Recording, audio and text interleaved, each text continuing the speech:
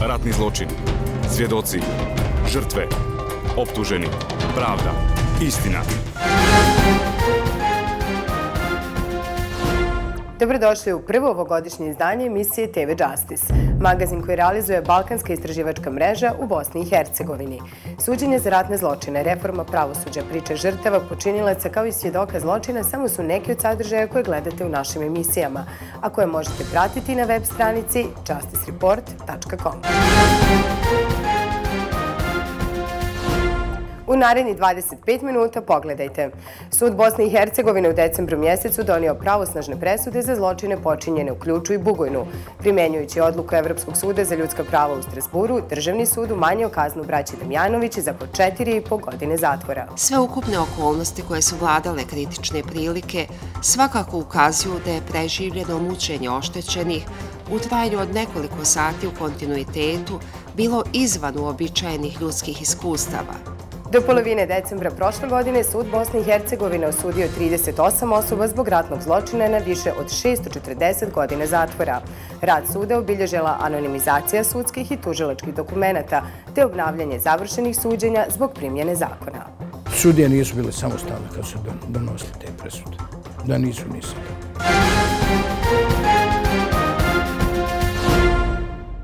Sud Bosne i Hercegovine je osudio Marka Adamovića na 22, a Boška Lukića na 14 godina zatvora za zločine počinjene u ključu u ljeto 1992. godine.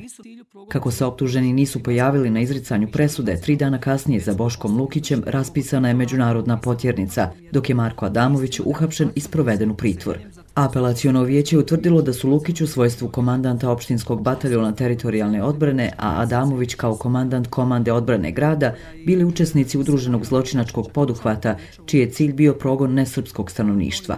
U okviru ovog progona ubijeno je više od 150 bošnjačkih civila, te su vršena nezakonita zatvaranja, premlaćivanja i druga nečovječna djela. Lukić i Adamović su proglašeni krivima za nezakonito hapšenje civila Bošnjaka i Hrvata 27. maja 1992. godine, njihovo premlaćivanje i zatvaranje u zgradu stanice javne bezbjednosti u Ključu, kao i za napad na selo Velagići početkom juna, nakon kojeg su vojno sposobni muškarci zatvoreni u obližnju školu, a potom je njih najmanje 78 ubijeno.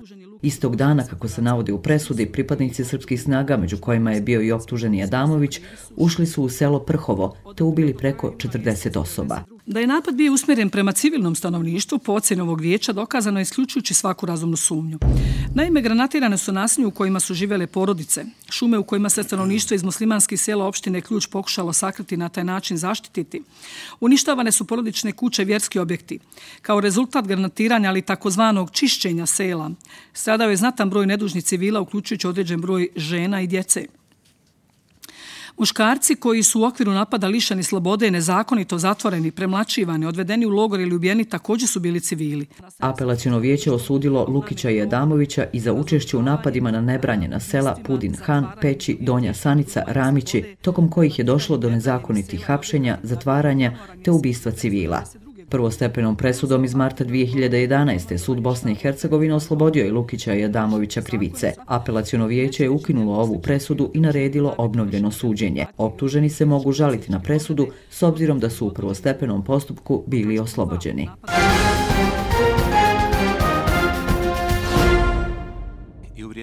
Apelacijono vijeće suda Bosne i Hercegovine osudilo je Senada Dautovića na sedam, a Nisveta Gasala i Musajba Kukavicu na po četiri godine zatvora za zločin počinjen nad hrvatskim zarobljenicima 1993. i 1994. godine u Bugojnu. Nakon obnovljenog suđenja oni su proglašeni krivima za mučenje i nečovječno postupanje prema zarobljenicima hrvatske nacionalnosti u većem broju zatočeničkih objekata. Dautović je kao načelnik stanice javne bezbjednosti i član ratnog predsjedništva u Bugojnu proglašen krivim jer je dozvolio da zarobljenici Hrvatskog vijeća obrane koji su se predali i položili oružje budu zatočeni u neuslovnim prostorijama. Optužen je dakle imao pozitivnu pravnu obavezu da već unaprijed poduzme sve potrebne mjere da spriječi mučenje koja se odvijela u stanici javne bezjednosti Bugojno te gimnaziji i domu zdravlja, budući da je znao da se takva mučenja zarobljenika odvijaju ne kao izolovan incident, nego kao određen obrazac ponašanja. Da je optuženi zaista znao za takva mučenja, ovo vijeće je utvrdilo na osnovu provedenih dokaza iz kojih proizilazi da je optuženi prisustuo predaju većeg broja pripadnika HVA kada je došlo do revolta građana koji su pokušali napadnu vojnike HVA koje je upravo optuženi upozorio da to ne radi. Dakle, već sada je bio svjestan da postoji takav revolt kod građana, ali i kod pripadnika Armije Republike Bosne i Hercegovine i stanice javne bezjednosti Bugojno, da postoje međunacionalne napetosti i da će doći do mučenja zarobljenika. Gasal, nekadašnji upravnik logora na stadionu Iskra, gdje je bilo zatočeno oko 300 Hrvata, i Kukavica, komandir obezbjeđenja u ovom objektu, proglašeni su krivima što su dozvoljavali odlazak zarobljenika na prinudne radove na prve borbene linije, gdje im je život bio ugrožen. Optuženi Gasal, koji je optuženi Kukavica, s obzirom na svoje funkcije, bili su upoznati sa situacijom u logoru.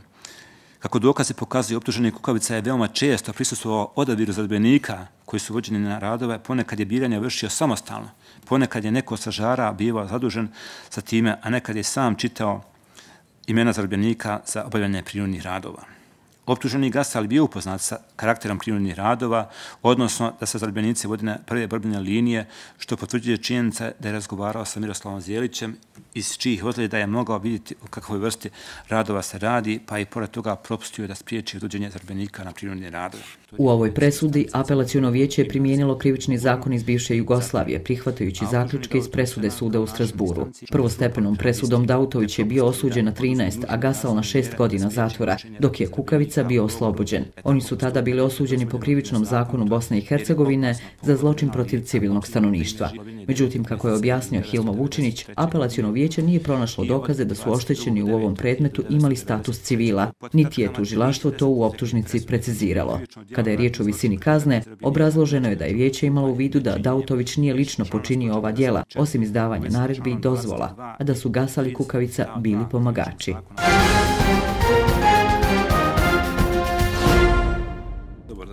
Sud Bosne i Hercegovine je zbog nedostatka dokaza oslobodio Savu Babića za zločin protiv čovječnosti počinjen 1992. godine u Bratuncu. Babić je prema presudi oslobođen optužbi da je kao bivši komandant Vojne policije Vojske Republike Srpske u Bratuncu u maju 1992.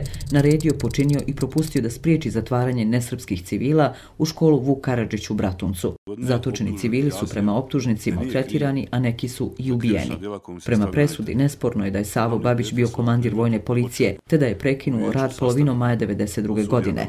Nesporno je, kako se navodi u presudi, i da su muškarci s područja Bratunca sprovedili dovedeni na stadion, a potom protupravno zatvoreni u školu gdje se prema njima nečovječno postupalo. Tužilaštvo nije van razumne sume dokazalo da je optuženi svojstvo komandira vojne policije u Bratuncu od početka maja do 14.5.1992. godine tokom široko rasprostranjenog i sistematskog napada usmjerovog protiv nesrpskog civilnog stanovništva na širem području općine Bratunac bio svjestan napada niti da su njegove radnje predstavljale dio tog napada.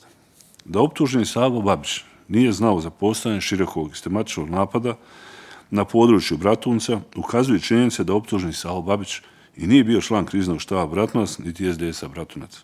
Niti je pristuo sastancima kriznog štaba na kojima je bilo govora o planu premještanja nesrpskog stanovništva općine Bratnos.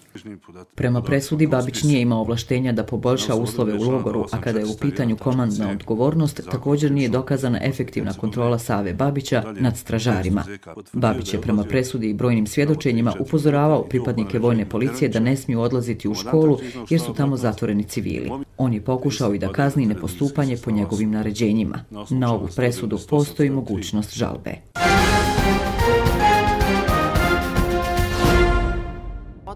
Primjenjujući odluku Evropskog suda za ljudska prava u Strasburu, sud Bosne i Hercegovine umanjio je kaznu Zoranu i Goranu Damjanoviću za po četiri i po godine zatvora. Za ratni zločin protiv civilnog stanovništva Goran Damjanović je osuđen na šest i po godina zatvora, dok je njegov brat Zoran dobio šest godina. Braća Damjanović su proglašeni krivima da su kao pripadnici Vojske Republike Srpske s drugim vojnicima 2. juna 1992. godine tukli 20 do 30 zarobljenih bošnjaka u mjestu Bojnik kod Sarajeva.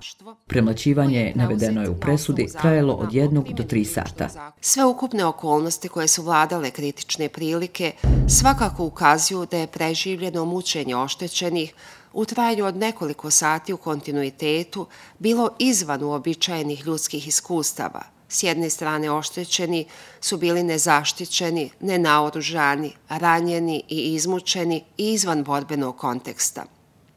Dok su se s druge strane nalazili naoružani vojnici koji su ih tuškli puškama, palcama, bocama te nogama i rukama i koji su tu situaciju iskoristili da otvoreno demonstriraju svoju nadmoć i silu nad oštećenim. Damjanovići su više od šest godina proveli na izdržavanju kazne izrečene 2007. ranijom presudom Suda Bosne i Hercegovine, kojom su bili osuđeni na 11, odnosno 10,5 godina zatvora. Sud Bosne i Hercegovine je u obnovljenom postupku razmatrao samo visinu kazne i primjenu krivičnog zakona u skladu sa odlukom suda u Strasburu, koji je utvrdio da je u ovom predmetu pogrešno primjenjen krivični zakon iz 2003. godine. Novom odlukom Damjanovići su osuđeni po zakonu Socialističke federativne republike Jugoslavije. Na ovu presudu dozvoljena je žalba apelacionom vijeću Suda Bosne i Hercegovine, što su branioci braće Damjanović i najavili. Tokom 2013. godine Sud Bosne i Hercegovine izrekao je 34 presude, te osudio 38 osoba zbog ratnog zločina na više od 640 godine zatvora. Izrečene presude su anonimizirane, odnosno umjesto imena i prezimena osuđenih stavljeni su inicijali. Unatoč obećanjima da će riješiti problem anonimizacije, do kraja prošle godine nisu to uradili. Rad Suda Bosne i Hercegovine obilježilo je obnavljanje suđenja za osobe koje su već bile na izdržavanju kazne. Primjenjujući odluku Evropskog suda za ljudska prava, Ustavni sud Bosne i Hercegovine je ukinuo presude suda BiH, nakon čega su povučeni sa izdržavanja kazne i pušteni na slobodu. Postupci protiv više od deset osoba su vraćeni na ponovno suđenje. Do polovine decembra prošle godine Sud Bosne i Hercegovine izrekao je 34 presude, od kojih 22 pravosnažne. Ovim presudama 28 osoba osuđeno je na ukupno 506 godine zatvora, dok je 15 optuženih oslobođeno krivice. Najveća kazna izrečena je Francu Kosu, bivšem pripadniku 10. diverzanskog odreda pri glavnom štabu Vojske Republike Srpske. Kos je osuđen na 35 godina zatvora zbog strijeljanja grupe od oko 800 muškaraca 16. jula 1995. na Branjevu, opština Zvornik. Za isti zločin, zajedno sa Kosom, osuđeni su Stanko Kojić na 32, Vlastimir Kolijan na 15, te Zoran Gorulja na kaznu zatvora od 30 godina. Najniža pravosnažna presuda izrečena je Albini Terzić, nakon što je kazna smanjena sa 5 na 3 godine zatvora. Terzić, bivša pripadnica Hrvatskog vijeća obrane, osuđena je za nečovječno postupanje prema srpskim zatvorenicima u Ođaku. Sud Bosne i Hercegovine u toku 2013. godine izrekao je 12 nepravosnažnih presuda kojima je 10 osoba osudio na ukupno 134,5 godine zatvora. Prvostepenim presudama oslobođene su 4 osobe. Tokom 2013. godine Veselin Vlahović zvani Batko osuđen je na maksimalnu kaznu 45 godina zbog zločina počinjenih na području sarajevskih naselja Grbavica, Vraca i Kovačići. To je ujedno i najveća kazna izrečena u toku prošle godine pred sudom Bosne i Hercegovine. Vlahović je proglašen krivim da je od maja do jula 1992. ubio oko 35 osoba, silovao 11 žena, zlostavljao, odvodio ropstvo, mučio te pljačkao nesrpsko stanovništvo. Optužen je otvoren ulazi u domove porodica, na oči gledi u pristvu njenih članova, činio beskrupulozna svirepa i višestruka silovanja, ubijstva, maltretiranja, mučenja, nečovječna postupanja, pljačkanja, a sve praćeno naročito hladnim drskim obrazcem ponašanja, što je imalo za posljedicu da ga svjedoci posredne i neposredne žrtve okarakterišu kao monstruma zgrbavici, kao zloglasnog batka. Prošle godine pred sudom Bosne i Hercegovine nije sklopljen ni jedan sporazum o priznanju krivice u predmetima ratnih zločina, a apelacione vijeća suda BiH su 15 optuženih pravosnažno oslobodila krivice za zločine počinjene u Srebrenici, Kalinovi, Kuzvodniku, Ilijašu, Bosanskoj krupi i na Kurićanskim stijenama. Izrečene presude su anonimizirane, pa su umjesto imena i prezimena osuđenih stavljeni inicijali.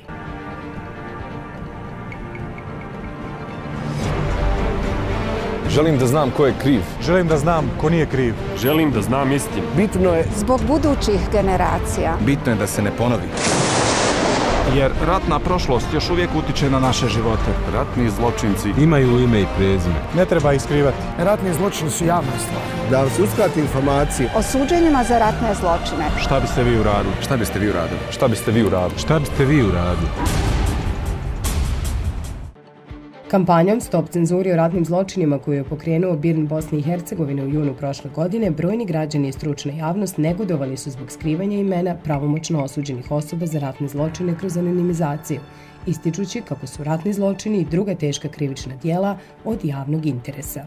Mi smo prvenstveno uh, putem ankete, učnih akcija, uh, grupnih seminara i sastanaka sa određenim grupama uh, ljudi dobili preko 100.000 osoba koje su podržale ovu kampanju u samo četiri sedmice koliko je kampanja i trajala.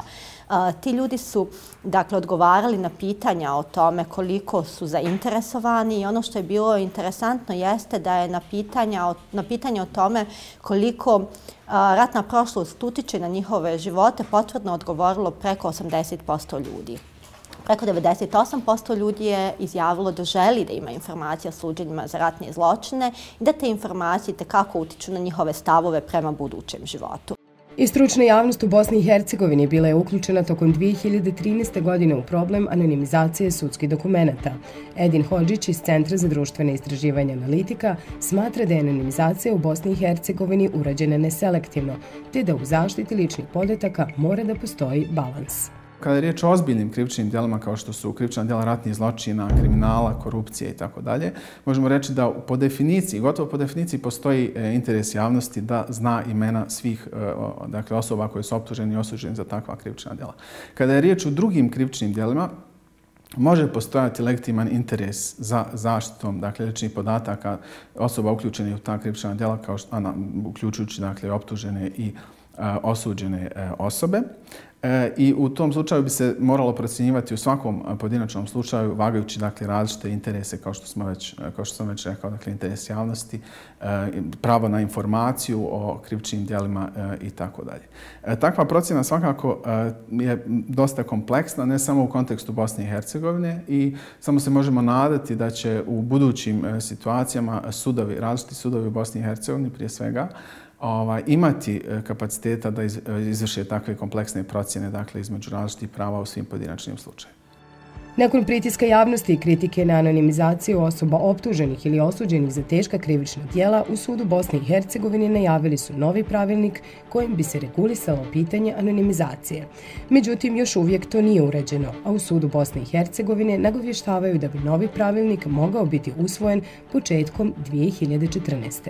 Ono u čemu se ogleda novi pristup u pravilniku jeste da se na jedan opšti način za određene vrste slučajeva, odnosno krivičnih dijela, pretpostavlja da postoji dovoljno velik interes javnosti u odnosu na privatni interes i da će se u odlukama koje se objavljuju na web stranici suda objavljivati puni podaci počinilaca krivičnih dijela.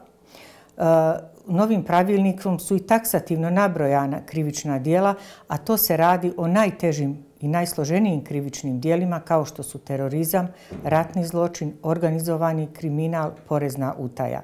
Dakle, u tim predmetima sud neće posebno utvrđivati po na osob da li postoji javni interes. Dakle, već smo se opredijelili da, je, da su to ovaj predmeti koji su od značajnog javnog interesa i neće biti anonimizacije ličnih podataka e, osuđenih lica. Osmu godinu rada Suda Bosne i Hercegovine obilježilo i obnavljanje suđenja za osobe koje su već bile na izdržavanju kazne. Primjenjujući odluku Evropskog suda za ljudska prava, Ustavni sud Bosne i Hercegovine je ukinuo presude suda BiH zbog pogrešne primjene krivičnog zakona. Nakon ove odluke, deset optuženih koji su bili osuđeni na kazne zatvora od 14 do 33 godine pušteni su na slobodu, a suđenje vraćeno pred drugostepeno vijeće. Slična situacija mogla bi se desiti za još 25 osuđenih za ratni zločin i genocid počinjen u Bosni i Hercegovini.